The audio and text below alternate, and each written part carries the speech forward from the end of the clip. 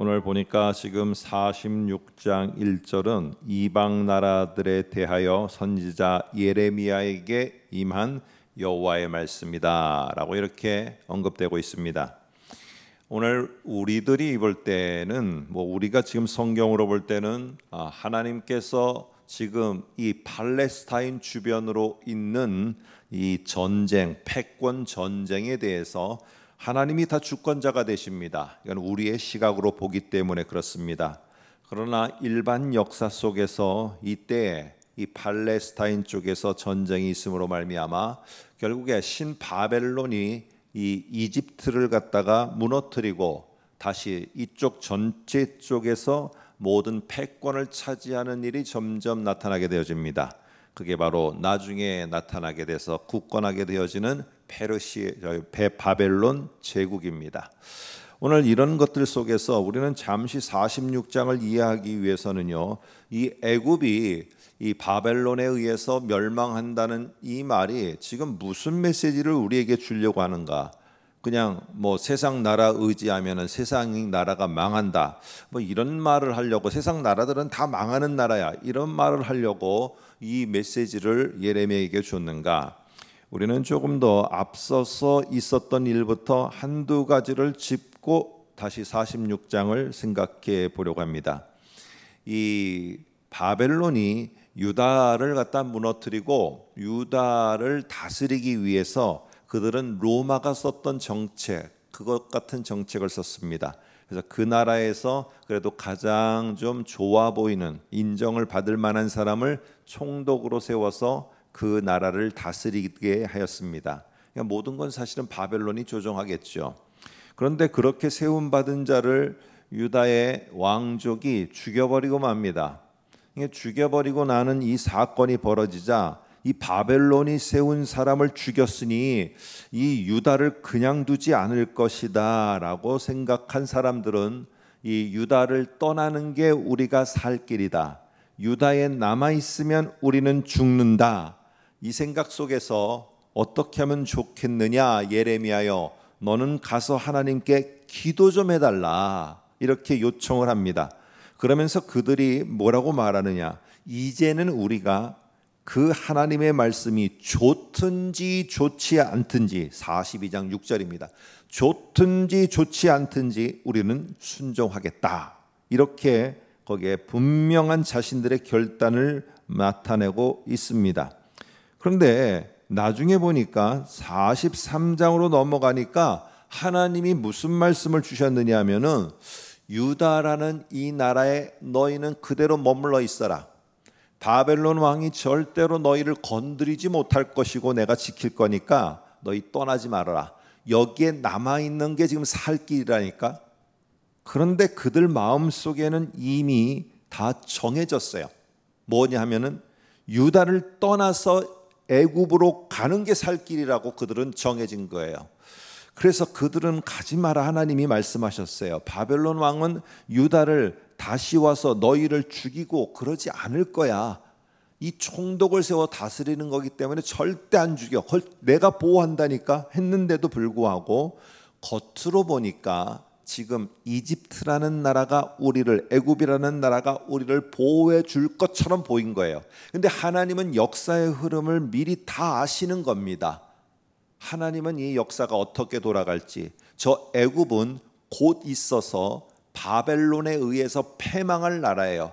다시 말해서 나방이 불구덩이로 들어가듯이 겉으로 보일 때는 화려해 보이는 것이지만 들어가면 다 죽는 게 이집트 땅이에요. 이걸 하나님이 아시는 거예요. 그래서 뭐라고 말하느냐? 만일에 유다를 떠나서 이집트 땅으로 가면은 이집트 땅에 곧 뭐가 찾아올 것이냐? 칼과 기근과 전염병이 찾아와서 괜히 너희도 거기로 들어갔다 불구덩이로 들어갔다가 너희도 그 칼과 기근과 전염병으로 너희도 망하고 말 거야. 가지 말라니까 했는데도 불구하고 오늘 그 이집트로다가 사람들을 데리고 유다 사람들이 가게 된 이후에 하나님이 말씀하신 대로 드디어 이 애굽이 멸망하게 되어지고 있는 모습 이게 46장입니다. 겉으로 볼 때 초창기에는 좋게 보였어요. 초창기에는 살 것 같이 보였어요. 그런데 점점 가면서 이 애굽이 무너지면서 애굽이 무너지니까 거기에 있던 유다 백성들도 같이 무너지고 망하게 되는 그래서 자기들이 심판을 자초해서 하나님의 심판 불순종 가운데 심판을 자초해서 심판을 받게 되어지는 여러분 이런 사건이 오늘 이런 말씀이 46장의 내용입니다. 자, 이제 다시 46장으로 와서 이제 저와 여러분이 말씀, 금방 앞에 서두에 말씀드린 것처럼 팔레스타인 패권 전쟁이 있을 때 통치권을 자랑하던 나라는 이집트입니다. 그러니까 주변 국가들이 어려움이 있으면 이집트로 다 오는 겁니다. 근데 그때 등장했던 게 아직 바벨론이 제국은 안 됐지만은 신흥 바벨론 세력이 힘을 키워 갖고 지금 46장이 두 부분으로 나눠지는데 오늘 앞부분은 지금 어떤 부분이냐? 바로 이 이집트를 쳐부시기 위해서 원정을 아, 죄송합니다. 이집트가 바벨론을 무너뜨리기 위해서 이 자꾸만 찝쩍거리니까 초창기에 이거를 무너뜨려야 된다 해서 이집트가 바벨론을 치려고 바벨론 근처로다가 메소포타미아 지역으로다가 원정을 나가게 되는 사건. 요게 여기에 묘사되어 있는 요 이야기들입니다. 여러분 유다의 왕은 당시에 여호야김이라는 왕이었는데 이 왕은 바로 애굽이 세운 왕입니다. 그러다 보니까 유다는 철저하게 친애굽 정책을 썼습니다. 친애굽 정책. 그리고 당연히 바벨론은 배척을 하게 되었습니다. 그런데 이게 다 무너진 겁니다. 애굽 의존하는 나라 그리고 외국의 외형적인 과시에 의존하는 유다 음, 이 사람들은요 그런 것입니다. 여기에 나와서 언급되고 있는 것처럼 자기들이 지금 3절에 보면은 작은 방패, 큰 방패를 가지고 내가 너희를 지켜줄 것처럼 말합니다. 외형적으로 이것을 과시하고 있는 것이에요. 그래서 3절, 4절에 보면은 너희는 작은 방패와 큰 방패를 예배하고 나가서 싸우라. 너희 기병이여 말에 안장을 쥐어 타며 투구를 쓰며 나가서며 창을 갈며 갑옷을 입으라 하면서 오늘 우리가 얼마나 힘이 센지 우리를 의존하는 나라들 잘 봐라 하면서 원정을 나가면서 아주 의기당당하게 나가는 모습을 여기에 보여줍니다. 오늘 여기에 보면은요 이런 외국 애굽의 지금 모습은요 정말 모든 나라들에게 선망의 대상이고 거기에 가면은 우리가 살 것 같은 거예요. 근데 에, 유다에게 지금 말씀하시는 하나님에 대한 믿음과 선지자가 선포하는 말씀에 대해서는 아무리 아무리 뭐라고 말해도 이 유다 사람들은 들을 귀가 들을 마음이 없는 겁니다. 그러면 답을 자기네들이 가지고 있어요. 이렇게 해야 되는 걸 가지고 있으면서 이렇게 해야 되는데 하나님께 동의만 구하고 있는 겁니다. 여러분 그러면 정말 유다는 안전할까요? 유다는요 이집트를 의존했지만은 이집트의 왕 자신은 절대로 내가 너희를 보호해 줄게 이런 말을 하지 않습니다. 계속 보면은요 내가 지금 너희와 함께하며 너희를 지켜줄 수 있는 것은 우리에게 뭐가 있는 것뿐이냐? 이게 작은 방패는 내 개인을 막아주는 거예요. 딱 그리고 방, 큰 방패는 그룹을 막아주는 겁니다. 그리고 기병이 있고 그리고 여기에 용병들이 있고 이런 사람들이 있으니까 너희를 지켜주는 거야. 바로는 자기 자신은 아무 힘도 없습니다. 그런데 지금 하나님은 뭐라고 말하느냐? 바로는 도구만을 사용할 뿐이지 도구를 사용해서 인원수 많은 거, 아니면 힘이 강해 보이는 무기 많은 거 이걸로도 하지만 하나님은 그 모든 것들이 무용지물이 되면은 너희도 거기서 똑같이 패망하는 것이다. 그러나 하나님은 뭐라고 말씀하시느냐? 내가 지켜줄게. 내가 보호해줄게. 내가 너희들 절대로 바벨론이 건드리지 못하도록 해줄게. 이게 하나님이 앞부분에서 약속하신 겁니다. 하나님은 당신이 막아주시겠다고 합니다. 어떤 것이 너희를 가로막고 있더라도 내가 너희를 도와줄게 이렇게 말을 하고 있습니다. 오늘 이 애굽은요 8절에 보면은 얼마나 많은 군산지 애굽은 나일강이 불어남 같고 강물이 출렁임 같도다. 그가 이르되 내가 일어나 땅을 덮어 성읍들과 그 주민들을 멸할 것이라 하면서 이 나일강이 범람하면 주변을 갖다가 다 집어 삼키듯이 뭐 요즘에 홍수 나면은 주변 도시들 중구 뭐 우리나라도 예외는 아니고요. 지금 이런데 북한 모든 데를 집어 삼키는 것처럼 지금 메소포타미아 바벨론을 향해서 올라가면서 주변에 있는 나라들을 갖다가 주변에 아주 작은 나라들을 강물이 뒤엎듯이 다 지금 덮고 가는 겁니다. 점령하고 가는 거예요. 오만함이 극에 달았고 이런 애굽 구절을 한번 보시기 바랍니다. 이렇게 말합니다. 말들아 달려라. 병거들아 정신없이 달려라. 용사여 나오라. 방패 잡은 구수 사람과 붓 사람과 활을 당기는 루딤 사람이여 나올지어다 하면서 이 모든 지금 사람들이 막 어찌 보면은 정신없이 달려가면서 뭐 그 앞에 막아 세울 어떤 누구도 없는 겁니다. 이렇게 달려가라 하면서 바벨론 곧 저 신흥 바벨론도 곧 이런 옆에 나라들처럼 되고 말 거다 하면서 지금 밀어붙이고 있는 모습입니다. 그러나 우리는 세계사의 역사에서 애굽이 바벨론을 못 당합니다. 여기 10절서부터는 이제 그러나라고 시작됩니다. 우리 성경에는 끝에 루딤 사람이여 나올지라 하였다. 여기까지 끝나야 됩니다. 그리고 그 다음은 그러나 그날은 주 망군의 여호와께서 그 대적 이집트 애굽에게 원수 갚는 보복일이 될 것이다라고 여기서부터는 하나님의 관점이 나오게 됩니다.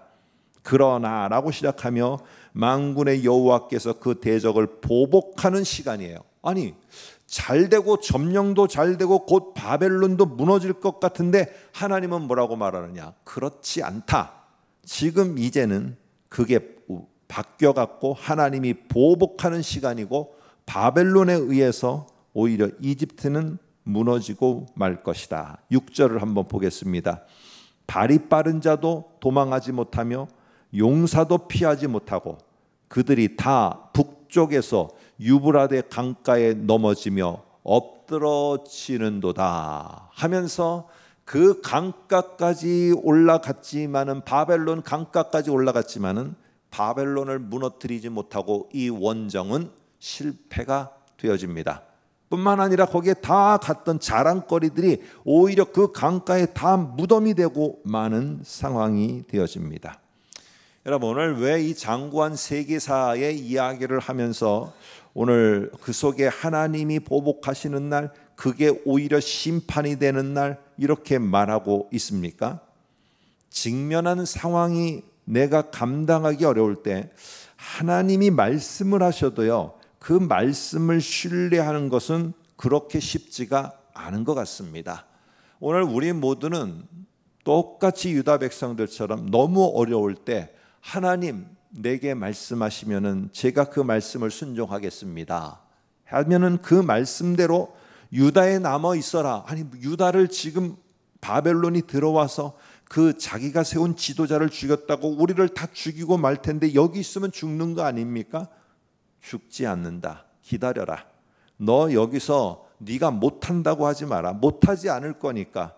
그런데 네가 만일에 저기 이집트가 좋다고 옮기면은 지금 이집트는 무너지고 있고 땅이 꺼지고 있는데 거기에 들어갔다가는 너도 같이 매몰된다. 들어가지 말아라. 하는데 지금 보이는 이집트는 여기에 있는 것처럼 너무 강하고 너무 모든 게 잘 돼 보이는 것이에요. 지금 이것으로 가면은 안 돼. 그리고 이 일을 하면은 안 돼. 그러나 지금 너무 잘 돼 보이는 거예요. 내 눈에는 그게 답이에요. 지금 유다도 그렇고 우리도 그렇고 하나님께 기도 요청을 하는 목적은 뭐냐? 내가 원하는 것을 하나님이 동의해 달라고 기도해 달라는 거예요. 그런데 하나님은 그렇지 않습니다. 하나님은 반대의 것들도 얼마든지 말씀하십니다. 근데 그 말을 들으면 어떻게 되느냐? 마음의 상처를 받아요. 이렇게 메시지를 통해서 하면은 나를 향해서 한다. 그러면 내가 돌이켜야 되는데 내 마음이 상처받았다라고 여겨요. 여러분, 들음과 순종은 갑자기 생기지 않습니다. 그래서 우리가 주일날 말씀으로 생각한 것처럼 나에게 어찌 보면은 쉼표와 같은 시간 멈춰져 있는 나의 활동이 중지돼 있는 시간에 계속 이 말씀을 듣는 훈련, 말씀을 내가 받아들이는 거, 이거를 철두철미하게 채비를 하여도 막상 상황이 맞닥뜨리면은 그 말씀대로 사는 것을 겁내합니다. 아무리 여기서 훈련하더라도 총알이 빗발치는 전쟁터 가면은요 앞에 적군은 보지도 못하고 그냥 총만 올려놓고 머리 위에 올려놓고 총을 쏴대는 신병처럼 그게 쉽지 않은 것입니다. 오늘 말씀을 경솔히 여기지 말고 하나하나 들을 때마다 중히 여겨서 이러한 채비를 지금부터라도 해 나갈 때 나중에 어떤 상황에서든지 하나님의 임재를 보게 되고 하나님의 말씀 앞에서 그 속에 멈춰 서 있으라고 할 때 서 있을 수 있는 것, 이 순종이 있게 되어집니다.